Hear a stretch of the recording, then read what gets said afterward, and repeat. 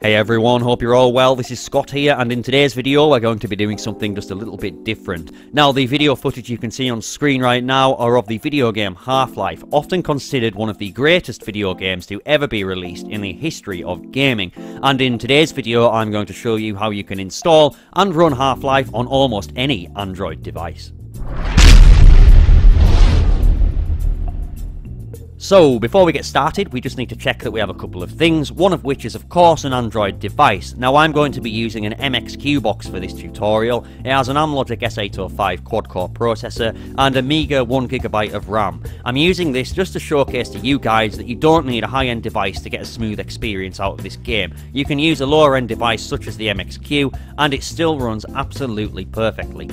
You're also going to need a copy of Half-Life itself on your computer somewhere. I'm not going to go into too much detail about where you can get a copy of that, but I'm sure you guys are resourceful enough to go out and find one, because we are going to need to copy some of them game files over to our Android devices. And thirdly, you're going to need a means of getting those files from your computer to your Android device. So whether that be a USB cable or using a USB storage device to get those files over. But once you've got those things ready, we can actually continue and get on with the bulk of this tutorial. So I've booted up my Android device and I'm just going to verify the box that I'm actually using and go into the settings here and you can see that it's an MXQ and it's running Android 4.4 KitKat so it's a relatively old device. Now the first thing we need to do is go into the Play Store and download an application called Xash3D. So go find the Play Store on your Android device and open it up. Now go into the search bar and type Exash 3D. Now you'll get a few different results, some of them by the same developer, and they do a myriad of different things, but we're just going to focus on the one that's called Exash 3D FWGS by a group of developers called Flying with Gauss. Now what this is, is actually a game engine that's been ported to Android from the PC, and this is going to allow us to run Half-Life within the Android operating system. So go ahead and install that, and then that's the first part of the tutorial over. What we're going to do now is go jump over the PC and grab those Half-Life game files and get them onto our Android devices. So the next step is very straightforward but also very important because we need to go and grab some game files from the Half-Life install directory. So by now you should have installed a copy of Half-Life on your computer or laptop and we need to now go and find the install directory. This could be different depending on how you installed it because you can of course get it from the Steam store or you can install it via CD-ROM or something like that. So just find your install directory for Half-Life and then you should see a list of files and folders like I have here just on the screen. Now all we need to do is drag and drop the folder called Valve into the SD card or USB storage device. That's all we need to do. No other files or folders, just simply that Valve folder. So just drag that across and let it copy over. And the time it'll take to do this will vary depending on your device and its speed, but it can take a little while if you've got a slower device because it's around 300 to 400 megabytes. But once that's copied, you can go ahead and plug your SD card or USB stick into your Android device, ready to copy these files over to Android. Next up, we need to copy those files from the Half-Life installation directory over to the Android device itself. So we're going to need a file explorer. I'm just using ES File Explorer here because it's one of the most common and best rated ones, but most others should work as long as it allows you to copy things and create new directories.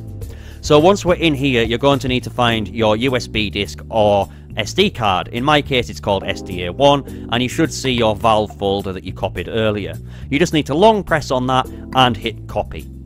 The next thing you need to do is you need to go to your main Android directory that's usually in storage emulated 0 and you need to create a new directory. So if I create a new directory here and you can call it anything you like but just to keep things smooth and for continuity let's just call it Half-Life. Once you've created that directory, just enter it and hit paste. Your Valve folder will copy over and now you have those necessary game files on your Android device. Now the next step is we're going to launch up that Xash3D app that we launched before and do a tiny bit of configuration before finally launching Half-Life on our Android boxes. So now that we've copied over them installation files and we've got Xash3D installed, we just need to go ahead and try and launch the game now. So go and find your Xash3D app and click and open it. It'll take a few seconds to load, but when it does eventually load, you should get a screen a bit like mine here. It looks a bit complex and scary, but don't worry, it's not too bad. There's also advanced options, but we don't need to touch them. We just need to click Select Game Data Location. Now what we need to do is find that folder we created earlier, remember I called mine Half-Life, and we just need to enter that directory. Don't click on anything else, and then just click Set Current Folder. Now all we need to do is click Launch X-3D, and hopefully Half-Life should load. So let's try that now.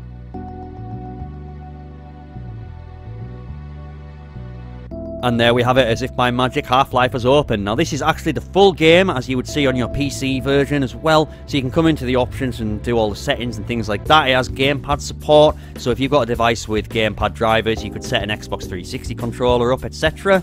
It even has touchscreen controls implemented thanks to the guys who created Xash, which means that you can set up your own touch buttons and it's fully customizable. I'm going to turn them off because I'm on a TV and I don't need touch controls, but if you're on a mobile or tablet, you've got them as well, so you're going to be be able to run this game using just your screen. You can even come in and set all your video options like your gamma, your screen size, and all that jazz, which is really great as well. You can also come out of there and go into video modes and set your screen resolution, just as you could with the PC version. So I'm going to scroll down and set mine to 1080p and find 1920 by 1080 and see how it looks really. So if we just find that there and click OK, then we should be in 1080p when we start the game. You've also got your audio options there as well, and you can come into your control settings and change your key bindings and jig the controls around till your heart's content. But let's try and launch the actual game now because that's what we're here to see, to see if the game's going to run and how it's going to run really. So let's try and start a new game and just see how this performs.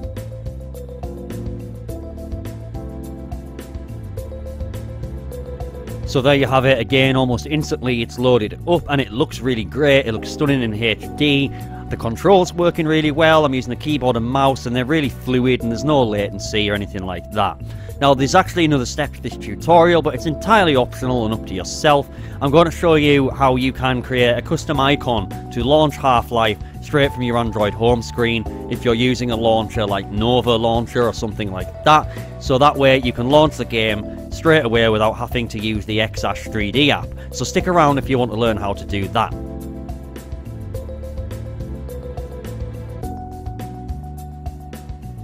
Now the next step is entirely optional, but you will need to have the Nova launcher installed on your device. So once you've installed it from the Google Play Store, come back to the video and we can get on with the rest of it. So you need to go into your app drawer and locate Xash3D again and open it up. Then you need to click on Create Mod Shortcut. This will bring up a dialog box. We need to edit that top box that says shortcut name and we need to give it a label. So we're going to call it Half-Life. Now the next box is a command line arguments box. You need to leave that as it is, but you need to put a space at the end of it, then type dash game, spacebar, valve, and then click create shortcut.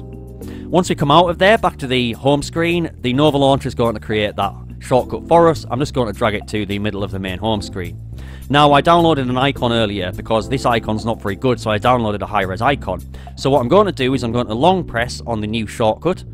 It'll give us the option to change the name again, but I'm going to click on the icon, and then it's going to ask me if I want to use a predefined icon or if I want to use one of the gallery apps to select an image. So I'm going to click gallery apps,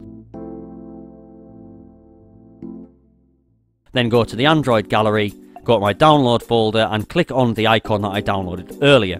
It's going to ask me if I want to resize it, I don't need to, so I'm just going to click done, then I'm going to click done again and it's going to change it. And now we have a nice shiny Half-Life launcher straight from the home screen of your Android device. So if we click on that, it is going to boot straight into Half-Life and it's going to bypass the need for that Xash3D app.